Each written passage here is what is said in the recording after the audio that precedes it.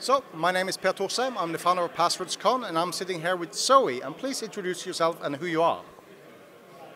Okay, uh, I'm Zoe Rose. I come from Canada, which apparently I'm not the only Canadian though, so that's pretty cool. One of your speakers was. Uh, what do I do? I work at Knock in an ISP, and I own a company that's uh, MSP. And why did you come to PasswordsCon in Cambridge uh, in the UK? Well, two reasons. Uh, one was I wanted to go to a conference this December, and this one came up. and secondly, um, I really. Security and that sort of thing is kind of what I want to get into, and so I thought this would be a really neat experience to learn about stuff that most of my people don't really know about. And. Um, it's a new conference, but it's also a completely new location. So it'd be cool to get that sort of intake from other people. Looking for new contacts, possibly a new job, maybe? No comments. maybe. well, okay, well, so what do you think about the first day of PasswordsCon here at Cambridge then? It was actually really awesome. I it wasn't it wasn't too long like uh, some conferences. By the end of the day, you're kind of sleeping.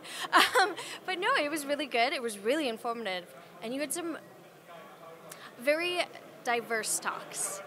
Absolutely, and you know that's one of the things I'm really looking for uh, to, to get for the conference as well, and that's also the, one of the reasons why I'm trying to mix the academic community with the research community, you know, around the world. So, uh, and well, I'm not neutral, but I'm really happy with day one.